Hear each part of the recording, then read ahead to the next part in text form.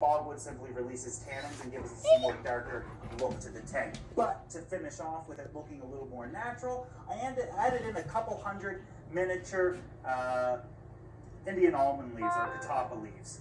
These are going to give it a more natural look, but they're also going to release some tannins in the water and also provide with some natural antifungal properties. So when the discus do lay eggs, if they don't fertilize them all, at least the ones that uh, are not fertilized are not going to rot and potentially in infect any others.